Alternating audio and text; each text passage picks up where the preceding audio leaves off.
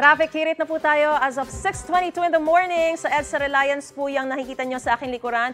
Yung sa kaliwang bahagi po ay papuntang Makati City habang yung sa kanan naman ay papuntang Quezon City. Yung papunta po Quezon City ay talagang mabigat na po yung daloy ng mga sasakyan, makapal na po yung volume ng mga ito at medyo mabagal na rin po yung usad. Pero itong ah, sa kaliwang bahagi ng inyong mga screen ay tuloy-tuloy naman ang daloy, green and go ang sitwasyon.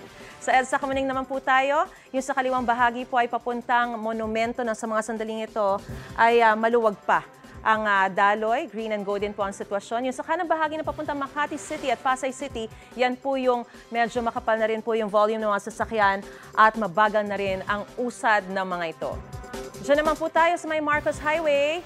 Yung sa kaliwang bahagi ay papunta pong Antipolo. Sa mga sandali nito, nakikita natin maluwag pa ang ah, kalsada. Halos wala pang mga sasakyan sa mga sandaling ito. Yung sa kanang bahagi na papuntang Cubao, ang makapal na po ang volume ng mga sasakyan. At ah, medyo mabagal po yung usad, no? pero umuusad pa naman sa mga sandaling ito. Ito na po ang side tip mula sa MMDA para mapanatili ang kaligtasan sa kalsada.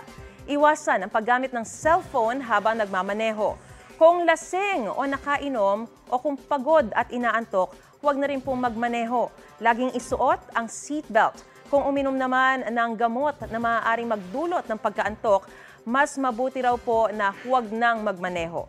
Para sa mga nakamotorsiklo naman, panatilihing suot ang helmet at mga safety gear. Bago naman bumiyahe, siguraduhin nasa maayos sa kondisyon ang inyong sasakyan. Sundin ang traffic rules.